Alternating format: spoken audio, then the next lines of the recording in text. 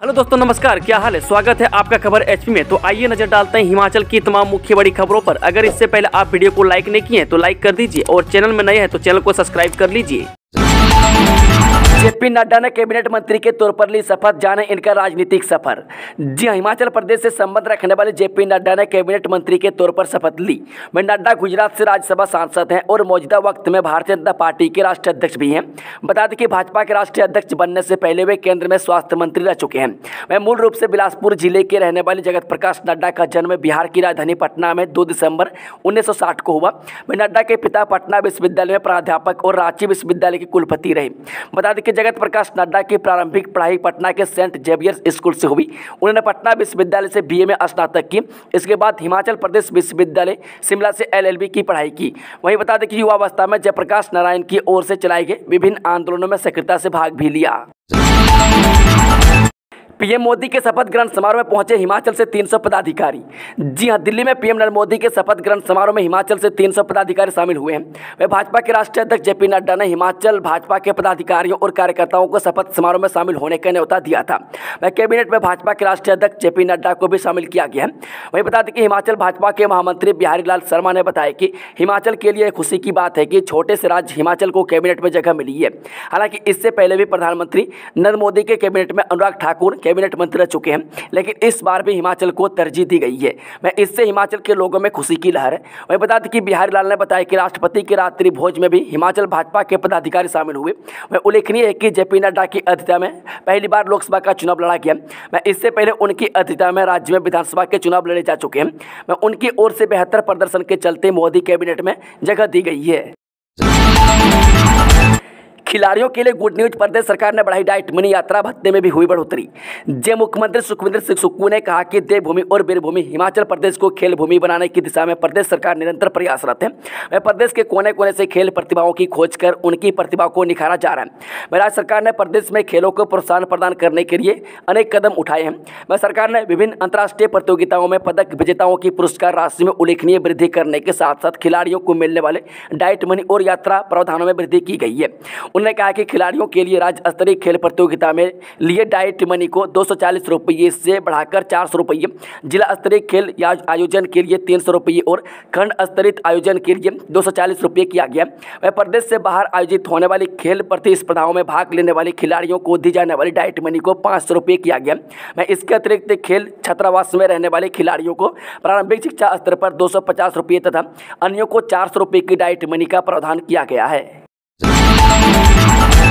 28 जुलाई से 4 अगस्त तक होगा अंतर्राष्ट्रीय मिंजर मेले का आयोजन। जी हाँ, अंतर्राष्ट्रीय मिंजर मेला इस वर्ष 28 जुलाई से 4 अगस्त तक मनाया जाएगा। रविवार को मिंजर मेला के सफल आयोजन हेतु बचत भवन में बैठक का आयोजन किया गया। वह बैठक की अध्यक्षता विधानसभा अध्यक्ष कुलदीप सिंह पठानिया ने की। वह बैठक में मेले के सफल आयोजन को लेकर चर्चा के साथ ही सरकारी और गैर सरकारी सदस्यों के सुझाव लिए गए। बता दें कि कुलदीप सिंह पठानिया ने प्रशासन की ओर से मिंजर मेला के आयोजन को लेकर की जा रही तैयारियों की समीक्षा की। उन्होंने मेला कमेटी के और गैर सरकारी सदस्यों के सुझावों को मेले आयोजन में शामिल करने का कहा। मैं इस मौके पर सदर विधायक नीरज नैयर के अलावा विभिन्न विभागों के अधिकारी और मेला कमेटी के गैर सरकारी सदस्य मौजूद रहे। माँ नैना देवी का दर नीट एंड क्लीन करने का जिम्मा संभालेगी दिल्ली की एजेंसी। जी माँ नैना का दर और आसपास के एरिया को नीट एंड क्लीन बनाए रखने का जिम्मा अब दिल्ली की नामी एजेंसी संभालेगी। वह मंदिर न्यास प्रशासन ने international institute of Sulabh system के साथ एक साल के लिए एग्रीमेंट किया है। यह टेंडर अठहत्तर लाख पैंतालीस हज़ार आठ सौ चालीस रुपये में अवार्ड हुआ है। बता दें कि कंपनी पंद्रह जून से अपने समय देना शुरू करेगी। वह मंदिर परिसर से लेकर टोबा तक का इक्यावन स्क्वायर मीटर एरिया चिन्हित किया गया वह मंदिर न्यास के सुपरवाइजर सफ़ाई व्यवस्था की निगरानी करेंगे। वहीं नैना देवी की प्रॉपर्टी के अलावा रास्तुआ पगडंडियों के साथ साथ आसपास के जंगल में सफ़ाई की व्यवस्था भी सुनिश्चित की जाएगी। में अहम बात यह है कि हिमाचल प्रदेश में नैना देवी ऐसा पहला शक्तिपीठ है, जहाँ सैनिटेशन का जिम्मा किसी नामी एजेंसी को सौंपा गया है। मैं दरअसल अभी तक नैना देवी शक्तिपीठ में साफ़ सफ़ाई का कार्य मंदिर न्यास प्रशासन की ओर से आउटसोर्स आधार पर नियुक्त किए गए कर्मचारियों के हवाले था। बाईस जून के बजाय पंद्रह जुलाई से हो स्कूलों में छुट्टियाँ, शिक्षा विभाग करे मंथन जे ग्रीष्मकालीन स्कूलों में छुट्टियों के अवकाश का शेड्यूल बदलने की डिमांड एक बार फिर से उठी है। वह शिक्षक संगठनों का यह कहना है कि जो छुट्टियाँ बाईस जून से होनी है, उन्हें पंद्रह जुलाई से दिया जाए, क्योंकि सबसे ज़्यादा बरसात जुलाई में होती है। वह बरसात के चलते स्कूलों में बच्चों को काफ़ी दिक्कतों का सामना करना पड़ता है। अभिभावकों को भी यह चिंता रहती है कि वे ऐसी बरसात में अपने बच्चों को स्कूल कैसे भेजें। वहीं अध्यापक भी परेशान रहते हैं कि छोटे बच्चों को स्कूल भेजने पर अभिभावक डरते हैं। मैं शिक्षा विभाग के समक्ष शिक्षक संगठनों ने भी प्रस्ताव भेजे हैं कि स्कूलों में मानसून को देखते हुए छुट्टियों को बढ़ाया जाए। वह बीते साल भी मंडी में एक मामला सामने आया था जिसमें स्कूल से छुट्टी होने के बाद घर लौट रहे स्कूली बच्चे उफनती नदी में बह गए थे। मैं एक युवक और महिला ने जान पर खेलकर इन बच्चों की जान बचाई और इन बच्चों को उपचार के लिए अस्पताल ले जाया गया। मौसम विभाग की माने तो बीस जून के बाद मानसून पीक पर रहता है, ऐसे में उसी समय स्कूल भी खुल जाते हैं। नरेंद्र मोदी तीसरी बार पीएम बने चिराग पासवान समेत तीस कैबिनेट मंत्रियों ने ली शपथ, जितिन प्रसाद को राज्य मंत्री पद।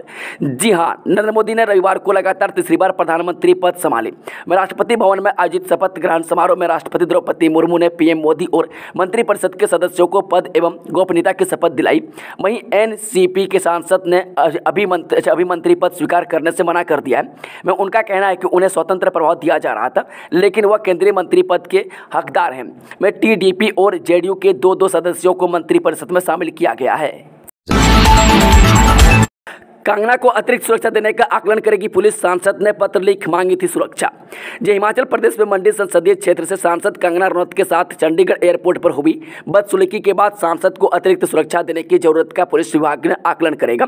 वह पुलिस महानिदेशक डॉक्टर अतुल वर्मा ने बताया कि सांसदों को सामान्यतः मिलने वाली सुरक्षा कंगना रनौत को मिलेगी। इसके अतिरिक्त सुरक्षा की यदि ज़रूरत महसूस होती है तो इसे लेकर आकलन के बाद फैसला लिया जाएगा। वह जानकारी के मुताबिक बता दें कि चंडीगढ़ एयरपोर्ट पर हुई घटना के बाद कंगना रनौत ने प्रदेश पुलिस को पत्र लिखकर सुरक्षा की मांग की थी। वह सांसद कंगना रनौत को अभी कोई सुरक्षा नहीं मिली है। वह सांसद पद की शपथ लेने के बाद ही सुरक्षा मुहैया करवाई जाती है। वह चंडीगढ़ एयरपोर्ट पर हुई घटना के बाद कंगना ने प्रदेश पुलिस को पत्र लिखकर सुरक्षा मांगी है। कश्मीर में तीर्थयात्रियों को ले जा रही बस पर आतंकी हमला, दस की मौत। जो जम्मू कश्मीर के रियासी ज़िले में रविवार को संदिग्ध आतंकवादियों की गोलीबारी के बाद तीर्थयात्रियों से भरी एक बस गहरी खाई में जा गिरी। मैं अधिकारियों ने यह जानकारी दी। मैं रियासी के डीसी ने पुष्टि की है कि दस लोगों की मौत हुई है। मैं अधिकारियों ने प्रारंभिक रिपोर्ट का हवाला देते हुए कहा कि शिवखोरी मंदिर जा रहे तीर्थयात्रियों को ले जा रही बस पर पोनी इलाके के तोरियाथ गाँव में हमला हुआ। उन्होंने बताया कि बचाव अभियान शुरू किया गया और पुलिस, सेना और अर्धसैनिक बलों के अतिरिक्त बल पर पहुँची। बता दें कि बस शिवखोड़ी मंदिर से कटरा लौट रही थी, तभी आतंकवादियों ने उस पर गोलीबारी शुरू कर दी। मैं हमले के बाद बस खाई में गिर गई। मैं बस में लगभग पचास लोग मौजूद थे। मैं बताया जाता है कि बस जैसे ही जंगल के इलाके में पहुँचे, घात लगाए आतंकियों ने बस पर ताबड़तोड़ फायरिंग शुरू कर दी। मैं आतंकवादियों की गोलीबारी से घबराए ड्राइवर ने बस पर अपना नियंत्रण खो दिया और बस खाई में जा गिरी। मैं फ़िलहाल सेना की ओर से बचाव अभियान जारी है। हिमाचल को खेल भूमि बनाने के लिए सरकार प्रयासरत खिलाड़ियों के लिए किए ये प्रावधान। जय मुख्यमंत्री ठाकुर, सुखविंदर सुक्कू ने शिमला में कहा, हिमाचल प्रदेश को खेल भूमि बनाने की दिशा में प्रदेश सरकार निरंतर प्रयासरत है। वह प्रदेश के कोने कोने से खेल प्रतिभाओं की खोज कर उनकी प्रतिभाओं को निखारा जा रहा है। वह राज्य सरकार ने प्रदेश में खेलों को प्रोत्साहन प्रदान करने के लिए अनेक कदम उठाए हैं। वह सरकार ने विभिन्न अंतर्राष्ट्रीय प्रतियोगिताओं में पदक विजेताओं की पुरस्कार राशि में उल्लेखनीय बढ़ोतरी करने के साथ साथ खिलाड़ियों को मिलने वाले डाइट मनी और यात्रा प्रावधानों में वृद्धि की है। वह सीएम ने कहा कि खिलाड़ियों के लिए राज्य स्तरीय खेल प्रतियोगिताओं के लिए डाइट मनी को दो सौ से बढ़ाकर चार सौ रुपये जिला स्तरीय खेल आयोजनों के लिए तीन सौ रुपये और खंड स्तरीय आयोजनों के लिए दो सौ चालीस रुपये किया गया। वह प्रदेश से बाहर आयोजित होने वाली खेल प्रतिस्पर्धाओं में भाग लेने वाले खिलाड़ियों को दी जाने वाली डाइट मनी को पाँच सौ रुपये किया गया।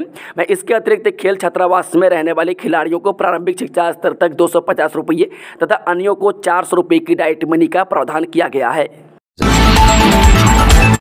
राजीव गांधी, अटल बिहारी वाजपेयी से आगे निकले नरेंद्र मोदी, तीसरी बार बीजेपी सरकार बनने पर बोले कर्णनंदा। जो भाजपा प्रदेश मीडिया प्रभारी कर्णनंदा ने कहा कि नरेंद्र मोदी, राजीव गांधी और अटल बिहारी वाजपेयी से भी आगे निकल गए हैं।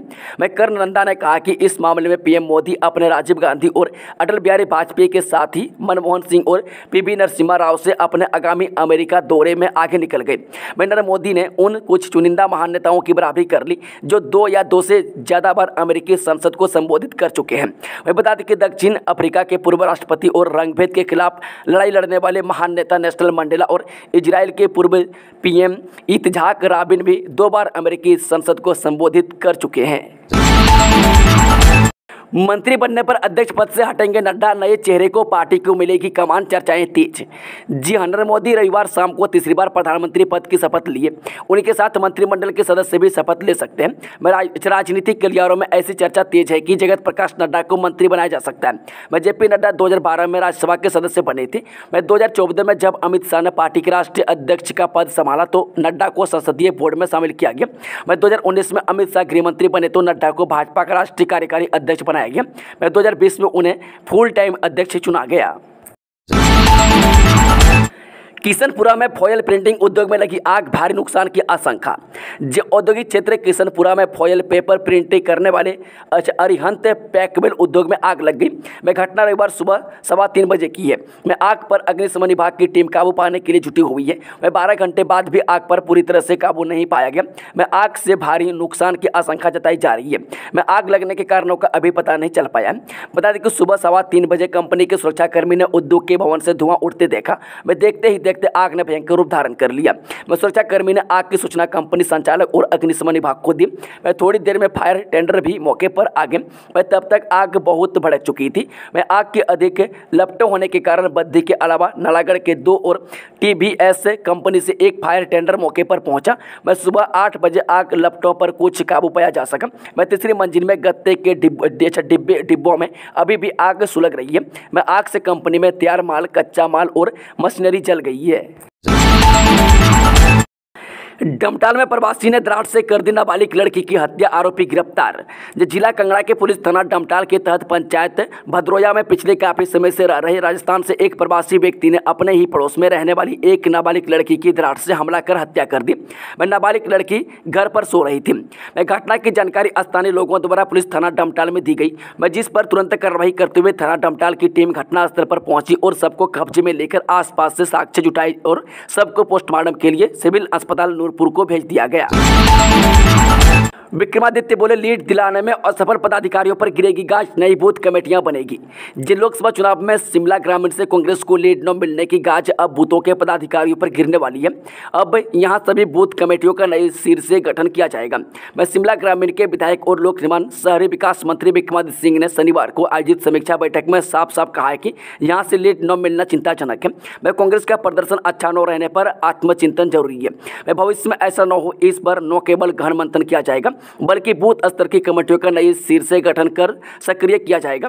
वह खुद हर जोन में जाकर पार्टी कार्यकर्ताओं के साथ बैठक करेंगे। मैं चुनाव में शिमला ग्रामीण में पार्टी का प्रदर्शन अच्छा नहीं रहा। मैं इसका उन्हें अफसोस है, वह चुनाव प्रचार के लिए क्षेत्र में समय नहीं दे पाए। वह प्रचार में उतरते तो कांग्रेस को लीड मिलती। बता दें कि कांग्रेस के गढ़ शिमला ग्रामीण बीच से भाजपा प्रत्याशी को चुनाव में चौंसठ मतों की लीड मिली थी। मैं शिमला ग्रामीणों में एक सौ तैंतीस बूथ हैं, जिनमें से सिर्फ़ तैंतीस बूथों पर कांग्रेस को लीड मिली है, वह बाकी सौ बूथों पर भाजपा के प्रत्याशी बाजी मार गए। वह ब्लॉक कांग्रेस के पदाधिकारियों और कार्यकर्ताओं ने इस दौरान अपनी बात रखी है। प्रियंका के करीबी केहर सिंह खाची को कैबिनेट रैंक, सुकू सरकार में मंत्री का एक पद अब भी खाली। जब लोकसभा चुनाव और विधानसभा उपचुनाव के नतीजों के बाद हिमाचल प्रदेश में कांग्रेस की सुक्खू सरकार ने प्रदेश कांग्रेस के वरिष्ठ नेता व प्रियंका गांधी के करीबी केहर सिंह खाची को कैबिनेट मंत्री का दर्जा देने का निर्णय लिया है। मैं केहर सिंह खाची हिमाचल प्रदेश राज्य वन विकास निगम लिमिटेड के उपाध्यक्ष हैं। मैं राज्य सरकार ने पिछले साल मार्च महीने में उन्हें इस पद पर नियुक्त किया था। मैं रोचक बात यह है कि उनकी तैनाती के करीब चौदह महीने बाद सरकार ने उन्हें कैबिनेट रैंक प्रदान किया है। मैं इस संबंध में शासन की ओर से अधिसूचना जारी हुई है। मैं इसके मुताबिक राज्य वन विकास निगम लिमिटेड के उपाध्यक्ष केहर सिंह खाची को तत्काल प्रभाव से कैबिनेट मंत्री का दर्जा प्रदान किया गया है। हिमाचल में आंधी बारिश का येलो अलर्ट किन शहरों में बिगड़ेगा मौसम जाने पूरे हफ़्ते का पूर्वानुमान? जब हिमाचल प्रदेश में बीते 24 घंटे के दौरान कई इलाकों में हल्की बारिश दर्ज की गई। मौसम विभाग का कहना है कि एक कमज़ोर पश्चिमी विक्षोभ की वजह से हिमाचल प्रदेश के विभिन्न हिस्सों में गरज चमक और आंधी के साथ हल्की से मध्यम बारिश दर्ज की गई है। मैं खास तौर पर ऊंचाई वाले इलाकों में बारिश के साथ हिमपात भी दर्ज किया जा सकता है। मैं इसको लेकर येलो अलर्ट जारी किया गया है। इस रिपोर्ट में जाने, हिमाचल प्रदेश के किन किन इलाकों में हो सकती है झमाझम बारिश? जो उत्तर पश्चिमी यूपी पर एक साइक्लोन सर्कुलेशन बना हुआ है। मैं इसकी वजह से हिमाचल प्रदेश में मौसम बदलने वाला है। मैं हिमाचल प्रदेश के विभिन्न हिस्सों में अगले 24 घंटों के दौरान गरज चमक के साथ छिटपुट से लेकर हल्की से मध्यम बारिश की संभावना है। हालाँकि इसके बाद मौसम शुष्क हो जाएगा। मौसम विभाग ने हिमाचल प्रदेश के विभिन्न हिस्सों में ग्यारह से तेरह जून के दौरान लू चलने की संभावना जताई है। बिलासपुर में बुज़ुर्ग दंपति की निर्मम हत्या, गौशाला में पड़े मिले दोनों के सब पुलिस ने शुरू की जाँच। हिमाचल प्रदेश के बिलासपुर में बुज़ुर्ग दंपति की निर्मम हत्या कर दी गई। इन दोनों के सब शनिवार सुबह गौशाला में पड़े हुए मिले। मैं पुलिस ने सबको पोस्टमार्टम के लिए भेज दिया। है मैं तथा मामला दर्ज कर छानबीन शुरू कर दी है। मैं सूचना मिलते ही नमहोल पुलिस चौकी मौके पर पहुँची और उन्होंने पूरे घर को सील किया। वह गायों को पालकर दूध बेचने का कार्य करते थे। इस गाँव के सभी लोग गाय पालक, गाय पालकर दूध बेचने का कार्य करते हैं। इन दोनों के सब शनिवार सुबह गौशाला में पड़े हुए मिले। वह पुलिस ने सबको पोस्टमार्टम के लिए भेज दिया है तथा मामला दर्ज कर छानबीन शुरू कर दी है। शिकारी माता मंदिर जा रहे श्रद्धालुओं की कार खाई में गिरी दंपति की मौत। जी रविवार को माता शिकारी देवी के दर्शन के लिए जा रही एक कार आहून में खाई में गिर जाने से दो श्रद्धालुओं की मौत हो गई, जबकि पाँच लोग घायल हो गए। मृतकों में एक दंपति व घायलों में उनके दो बच्चे, सास, ससुर व एक भांजा शामिल है। मैं घायलों को सिविल अस्पताल बख्सियाड़ से नेरचौक मेडिकल कॉलेज रेफर किया गया मैं जहाँ उनका इलाज जारी है। मृतकों की पहचान चौबीस वर्षीय लीलम पत्नी संदीप कुमार गाँव राजपुरा तहसील सदर व जिला बिलासपुर और संदीप निवासी राजपुरा के रूप में हुई है। मैं घायलों में चार वर्षीय हर्ष पुत्र, संदीप एक वर्षीय पूर्वी पुत्री, संदीप अड़तालीस वर्षीय धर्म धर्मपाल पुत्र जगत प्रकाश निवासी रामसह, जिला सोलन अड़तालीस वर्षीय राजो देवी पत्नी धर्मपाल निवासी रामसह, जिला सोलन और बीस वर्षीय बलदेव राजपुत्र बबलू राम निवासी कलर आनंदपुर पंजाब के रूप में हुई है। वह पुलिस के अनुसार संदीप अपनी पत्नी, बच्चों, भांजे और सास ससुर के साथ माता शिकारी देवी के दर्शनों के लिए जा रहा था मैं वहीं चेल चौक के जंजहली सड़क पर आहनु के समीप हादसा हो गया। हादसे में संदीप ने घटनास्थल पर ही दम तोड़ दिया, जबकि उसकी पत्नी लीलम ने बख्सियाड़ अस्पताल में दम तोड़ दिया। डीएसपी करसोक ने बताया कि पुलिस ने दंपति के सब पोस्टमार्टम के लिए भेज दिए हैं, तथा घटना की छानबीन की जा रही है। उपचुनाव की तैयारी में जुटी कांग्रेस हमीरपुर देहरा की ब्लॉक कमेटियाँ भंग। हिमाचल कांग्रेस हमीरपुर देहरा और नालागढ़ में होने वाले उपचुनाव को लेकर तैयारी में जुट गई है। मैं इसी कड़ी में पार्टी ने हमीरपुर और देहरा की ब्लॉक कार्यकारिणी तत्काल प्रभाव से भंग कर दी है। मैं कांग्रेस के प्रदेश प्रभारी सांसद राजीव शुक्ला के अनुमोदन के बाद पार्टी प्रदेशाध्यक्ष प्रतिभा सिंह ने दोनों ब्लॉक की संपूर्ण कमेटियों को तत्काल प्रभाव से भंग कर दिया है। मैं इस संबंध में रविवार को प्रदेश कांग्रेस संगठन महामंत्री रजनीश खिमटा ने अधिसूचना जारी की है। मैं गौर हो कि प्रदेश में हमीरपुर सदर विधान विधानसभा क्षेत्र से आशीष शर्मा, नालागढ़ से के एल ठाकुर और देहरा से होशियार सिंह का इस्तीफा मंजूर होने के बाद अब तीनों विधानसभा में उपचुनाव होने। ऐसे में माना जा रहा है कि उपचुनाव की रूपरेखा को देखते हुए ही कांग्रेस ने हमीरपुर और देहरा की ब्लॉक कमेटियों को भंग किया है। वह समय रहते संगठन को मज़बूत किया जा सके। ऋण के नाम पर फाइनेंस कंपनी पर धोखाधड़ी का आरोप पुलिस में दर्ज करवाया केस।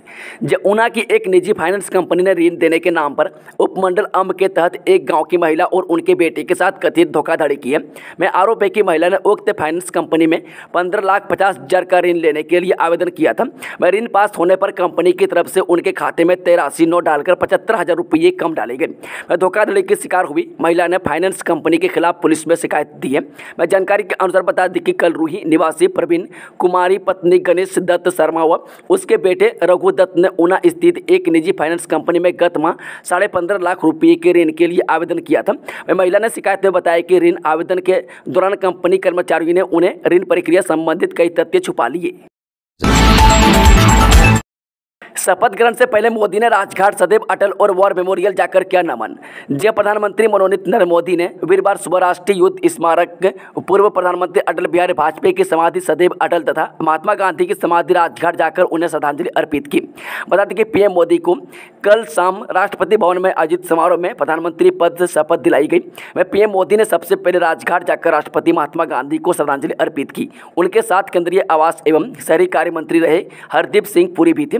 पीएम मोदी, इसके बाद श्री वाजपेयी की समाधि सदैव अटल गए और उन्हें श्रद्धांजलि दी। वह इंडिया गेट स्थित राष्ट्रीय युद्ध स्मारक भी गए और शहीदों को श्रद्धांजलि अर्पित की।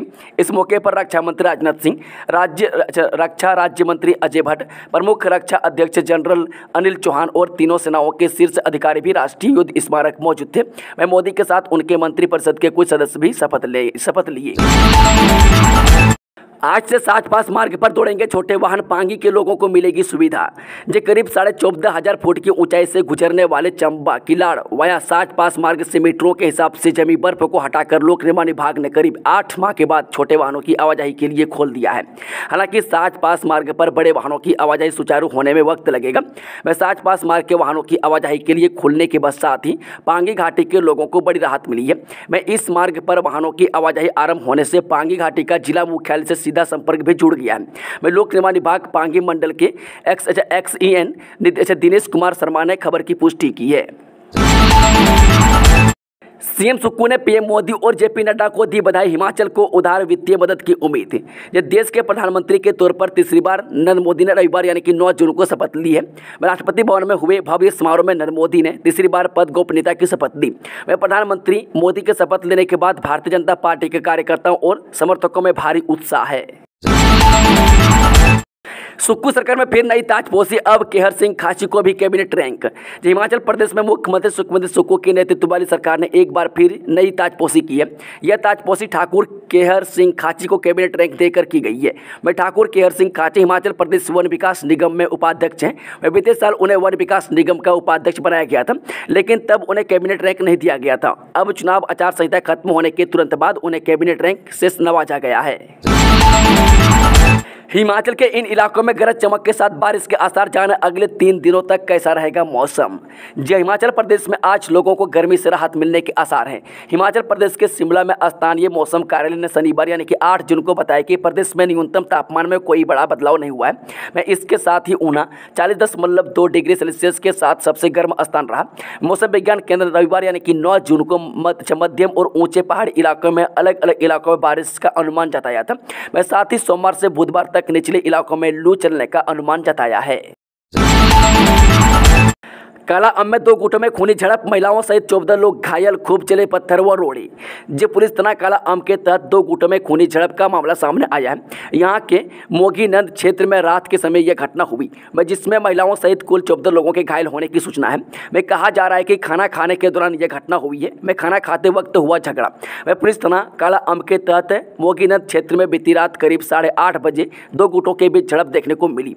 मैं घटना तब हुई जब एक पक्ष के लोग खाना खा रहे थे। वह जहाँ किसी बात को लेकर दोनों पक्षों में कहासुनी हो गई, जो खूनी झड़प में बदल गई। मैं जिसमें बारह से चौदह लोग घायल हुए मैं जिसमें से नौ घायलों को देर रात मेडिकल कॉलेज चेरनहान पहुँचाया गया हालाँकि खूनी झड़प के पीछे का कारण सामने नहीं आ पाया है। मैं दोनों गुटों में पत्थर व रोड़े का प्रहार करने के लिए इस्तेमाल किया गया मैं घायलों में सुनीता यादव, कोमल, मंजू करण, पूनम, राजेश, आरती व शिवानी को ज़्यादा चोटें आई है। मैं कला अम पुलिस थाना के H H S H O, M S Chauhan ने घटना की पुष्टि की है। मामले की जाँच जारी है। भारत की पारी लड़खड़ाई विराट रोहित लोटे पेवेलियन जब भारत और पाकिस्तान के बीच आज टी ट्वेंटी वर्ल्ड कप 2024 का सबसे बड़ा मुकाबला खेला जा रहा। है वह Nassau county international cricket stadium New York में दो चीर प्रतिद्वंदी एक दूसरे के सामने हैं। वह बारिश ने खेल में खलल डालने का काम किया है। वह पहले टॉस में देरी हुई, फिर भारत की पारी के एक ओवर के बाद बारिश के दोबारा आने के बाद खेल को रोकना पड़ा। वह दोनों टीमों के बीच आज एक कड़े मुकाबले की उम्मीद है। हालाँकि इस इस बड़े मैच में जीत उसी टीम को मिलेगी, जो दबाव को अच्छे से झेल पाएगी। मैं आंकड़ों की बात करें तो इसमें भारत का भारत का पड़ला भारी नज़र आता है। मैं दोनों के बीच टी वर्ल्ड कप के इतिहास में कुल छः मैच खेले गए इस दौरान टीम इंडिया को पाँच बार जीत हासिल हुई है। वहीं पाकिस्तान सिर्फ़ एक मैच जीत पाया है। मैच के सभी टिकट पहले ही बिक चुके हैं। ऐसे में आज एक हाउसफुल, पूरा पैसा वसूल मैच होने की उम्मीद है। मैं भारत को एक बार फिर विराट कोहली से धमाकेदार प्रदर्शन की उम्मीद होगी। मैं जिन्होंने 2022 में पाकिस्तान के जबड़े से जीत निकालकर अपनी टीम की झोली में डाल दी थी। थप्पड़ कांड के बाद पीएम मोदी के शपथ ग्रहण समारोह में शामिल हुई कंगना रनौत शेयर की झलक। जी नरेंद्र मोदी ने हाल ही में दिल्ली के राष्ट्रपति भवन में प्रधानमंत्री पद की शपथ ली। उन्होंने लगातार तीसरी बार पीएम पद की शपथ ली है। उनके शपथ ग्रहण समारोह में राजनीतिक गणमानियों के साथ ही फिल्मी हस्तियाँ भी पहुँची। इसके साथ ही नवनिर्वाचित सांसद और एक्ट्रेस कंगना रनौत भी मोदी के शपथ ग्रहण समारोह में पहुँची है। वह जहाँ से उनके फ़ोटोज़ और वीडियोज़ वायरल हुए हैं। now संसद में आपकी आवाज़ बनूँगा। नीट परीक्षा विवाद के बीच राहुल ने छात्रों को दिया आश्वासन। जी पूर्व कांग्रेस अध्यक्ष ने कहा कि एक ही परीक्षा केंद्र से छह छात्र अधिकतम अंकों के साथ परीक्षा में टॉपर रहे, जबकि कई छात्रों को ऐसे अंक मिले जो तकनीकी रूप तकनीकी रूप से संभव नहीं है। लेकिन सरकार लगातार पेपर लीक की संभावना से इनकार कर रही है। उन्होंने कहा कि कांग्रेस ने शिक्षा माफिया निपटने के लिए एक मज़बूत योजना बनाई है। मैं सोशल मीडिया एक्स पर हिंदी में लिखे एक पोस्ट में गांधी ने कहा, नरेंद्र मोदी ने अभी शपथ भी नहीं ली और नीट परीक्षा में अनियमितताओं ने 24 लाख से अधिक छात्रों और उनके परिवारों को तबाह कर दिया है। दोस्तों, खबरों का सिलसिला यहीं समाप्त होता है। अगर जानकारी पसंद आई तो वीडियो को लाइक, शेयर, चैनल को सब्सक्राइब ज़रूर कर लें और कमेंट बॉक्स में कमेंट करके बताएँ कि आप न्यूज़ को कि हिमाचल के किस कोने से बैठकर देख रहे हैं। Thank you, all the best, जय हिंद, जय हिमाचल, जय राधा माधा।